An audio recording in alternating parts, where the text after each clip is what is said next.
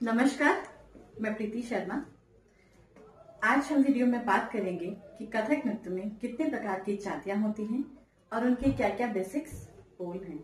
कुछ स्टूडेंट्स ने मुझसे क्वेश्चन भी किया था कि आजकल हमारे एग्ज़ाम चल रहे हैं तो आप जाति के बारे में कुछ बताइए।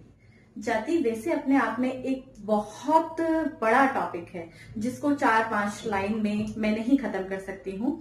जाति को समझने का भी तरीका अलग अलग है।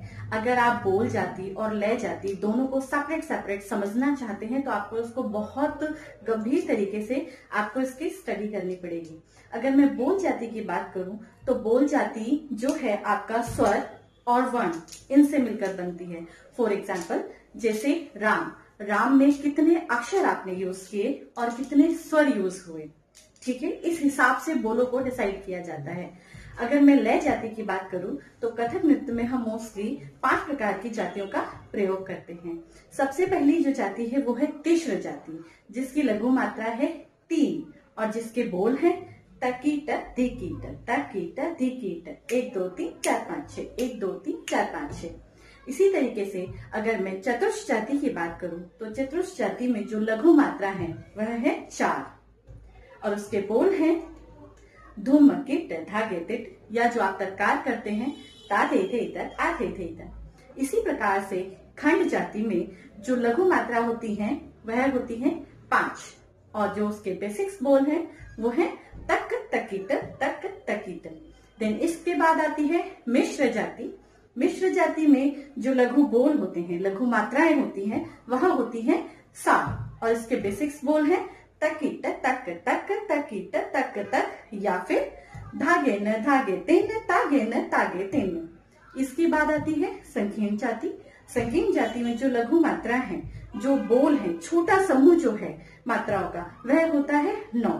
तो उसके जो बोल है, तक तकिट तक तक तक तकिट तक तक। ये जातियाँ हम कथक नृत्य में यूज़ करते हैं। जातियों में तिहाइया होती हैं, चलन होती है, लड़ी होती है, तोड़े होते हैं, टुकड़े होते हैं। तो जाति, गायन, वादन और नृत्य तीनों में बहुत बहुत ज़्यादा उपयोग की जाती है। अगर आपको जाति को समझना है तो जाति को समझने के लिए सही मायने में जाति क्या है, जाति किस प्रकार से बनती है, किस तरीके से मात्राओं को घटाकर, बढ़ाकर एक नई जाति बनाई जाती है, उसके लिए हमें स्वर और वर्ण इसका भी अध्ययन करना बहुत ज़रूरी है। आपको सेपरेट बोल जाति का अध्ययन करना पड़ेगा, आपको सेपरेट लय जाति का अध्ययन करना पड़ेगा। एक्चुअल में तब जाकर सही मायने में जाति समझ में आती है। केवल ये कह देना कि जातियाँ पाँच प्रकार की यहीं पे जाति टॉपिक को खत्म नहीं किया जा सकता।